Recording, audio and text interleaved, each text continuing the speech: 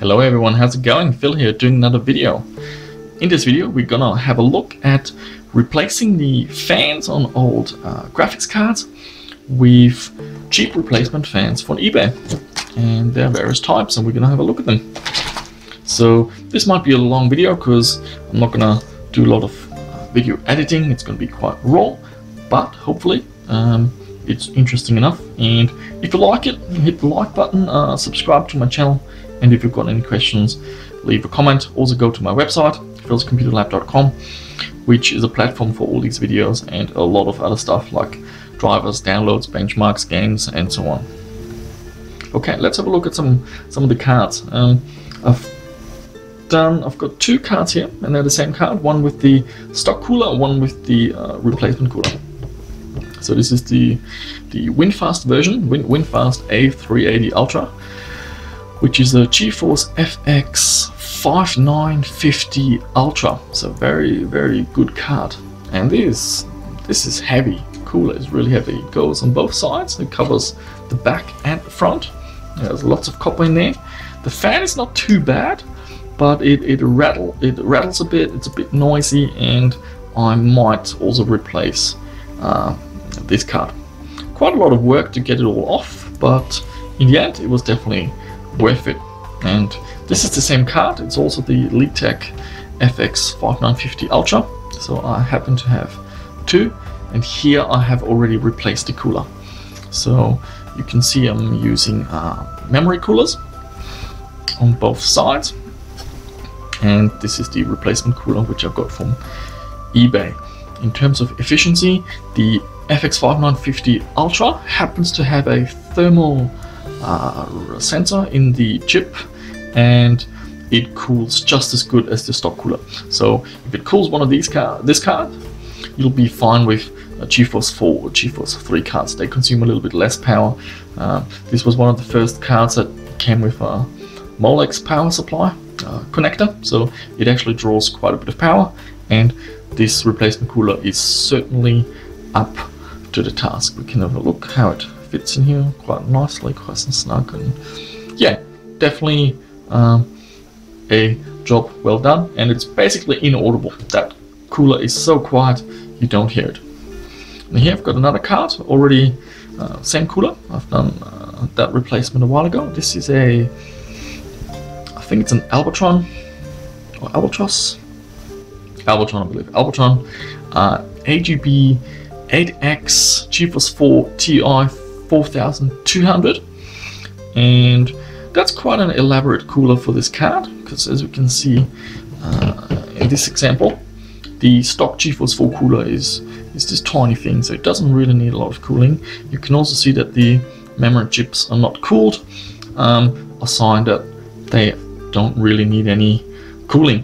Uh, I believe that this card, the GeForce card, actually uses uh, DDR2 memory, and that runs a little bit hotter. Okay, what else we got? This is the card I want to do the uh, mod on today. It's a WinFast. Is the model number? There you go. A250 Ultra.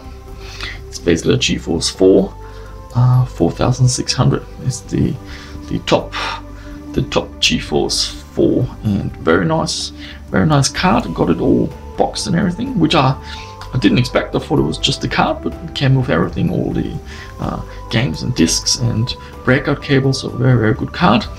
Um, it's got dual fans. And let's have a look. Uh, I've done a recording earlier of the fan how, how, how noisy it is. And so we just get an idea of um, before and after. So we're just gonna have a, a listen to what the fan sounds like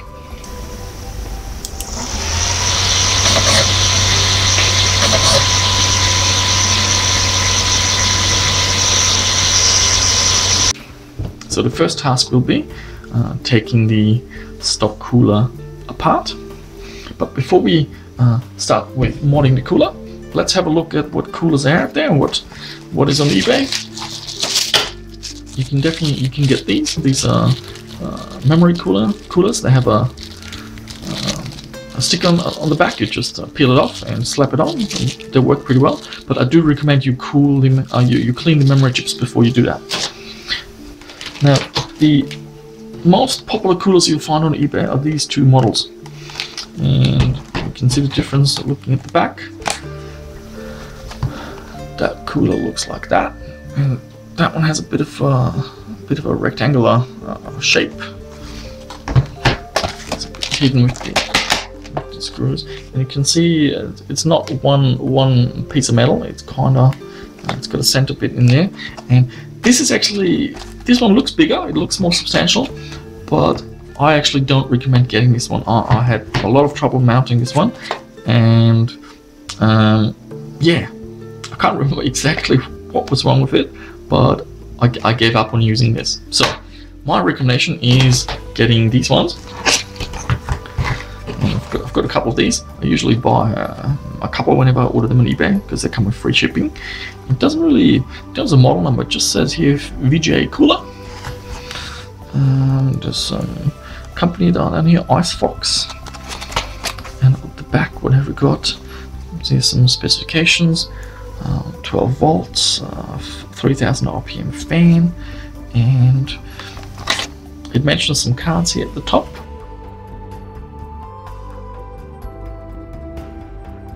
So quite a lot of cards that these replacement coolers um, support. Now I forgot how expensive they are, but I will just uh, put in a, a picture of the eBay store I got this from. They are really really cheap um, and definitely worth getting a few. Okay, so I'm gonna replace the cooler on this uh, card. It's the WinFast A250 Ultra, which is a GeForce 4 4000 uh, GeForce 4 Ti 4600, so it's quite a decent card. Um, but yeah, as we as we listen to the cooler, it's not the quietest. So the first step we need to do is get rid of, you can see these pins that go through. So we just have to release them on the other side.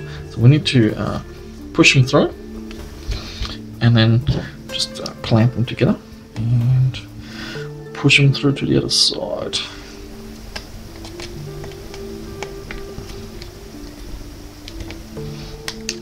Like so, so that one is uh, free. Oops, there it is You can already see that the card gets a bit loose. Now that one is a little bit trickier to get.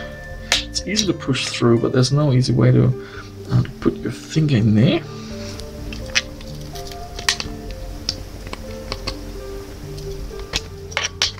There that one's free.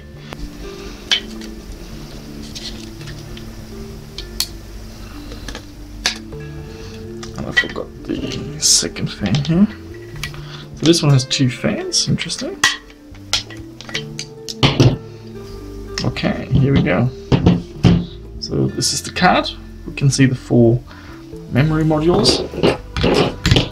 And here's the stock cooler. So it also had contact with the memory coolers. So let's have a look at the back. And let's see how we can get this thing off. Actually, I'm gonna leave this oh, oh no, we have to we have to remove it. So what I'm gonna try is is just put a screwdriver in here and then just slowly apply a bit of force and see see if it comes off. So there's already some oh that was easy. There you go. Okay, so there we are.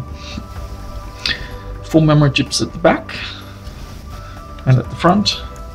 You're not quite sure what this thing is. Oh, okay. Probably some, just a bit of cooling for the chip on the back. Okay, so now we're going to do some uh, cleaning. And what I always use is uh, Cooling, The ArctiClean number one is the removal. So just gonna get some tissues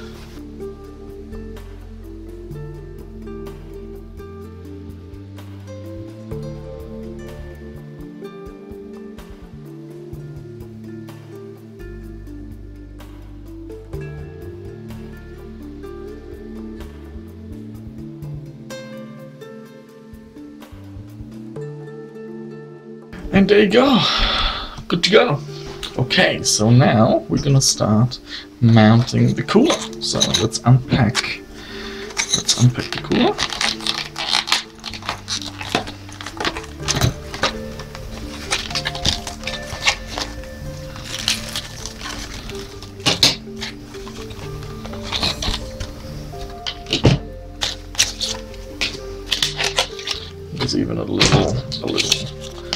Diagram here. So let's have a look if we can decipher that.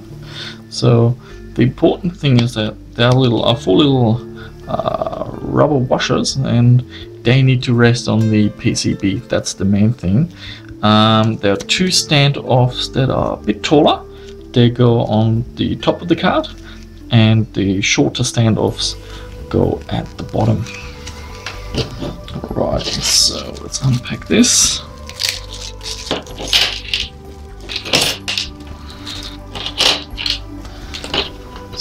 This in the back. These are for the top. These two go on the bottom. And we have two long screws and two short ones. So the long screws go from the bottom. And okay, so what we need to do is just make sure I get this right. So first we're gonna make sure which holes we're gonna put them through. So we can use these uh, from here to there. These are the the big ones and just double check.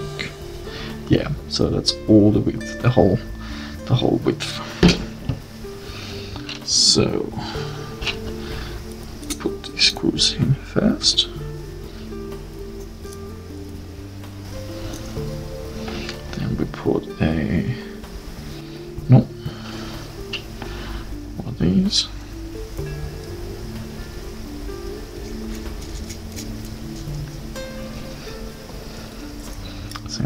Other side.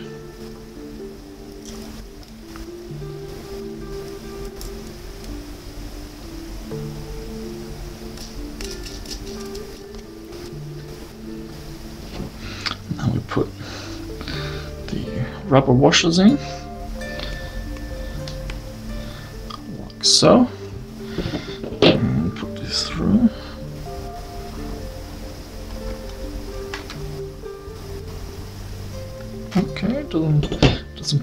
reach, so I might just have to loosen this. Put them all the way to the ends. Let's try this again. There you go. So that fits nicely. And what we need next is put rubber washers from this side and from the other one.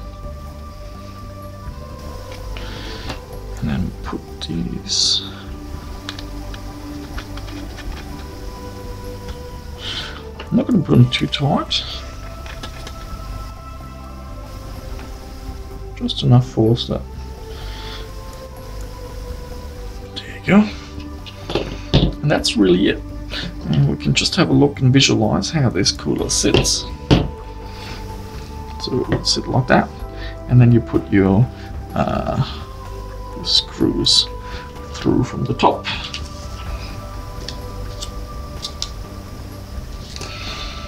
So, remove the sticker. I'm gonna put some thermal paste on.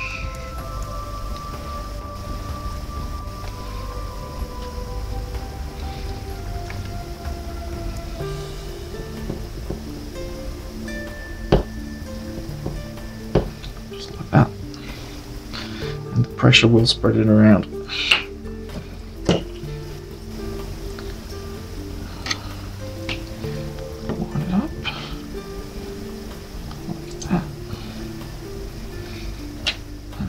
Get the screws.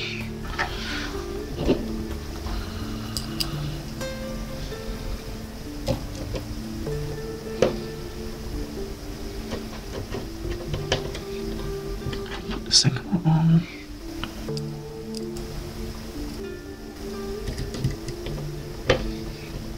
and then just alternating.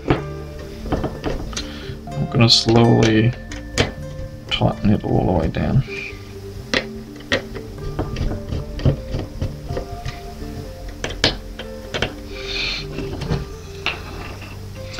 Just check if we can still put the.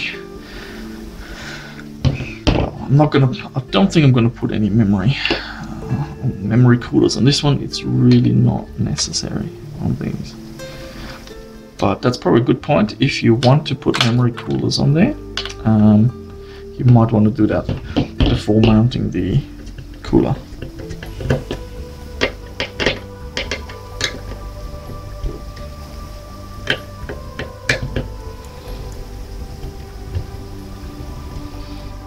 And done.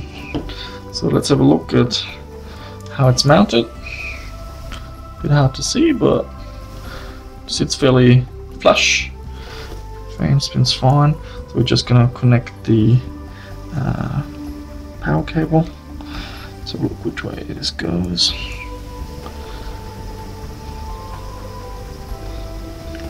Okay, so that might not fit properly, so we might have to just do a bit of just pulling this part.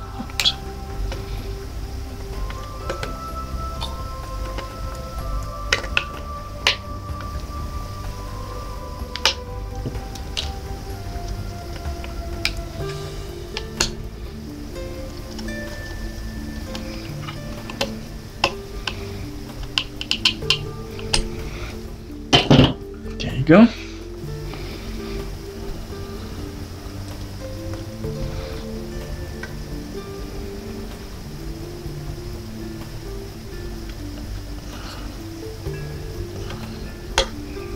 Doesn't quite want to go. There you go. Okay, that's our cooling mod job done. So I'm gonna put it put it in my machine and see what it's like.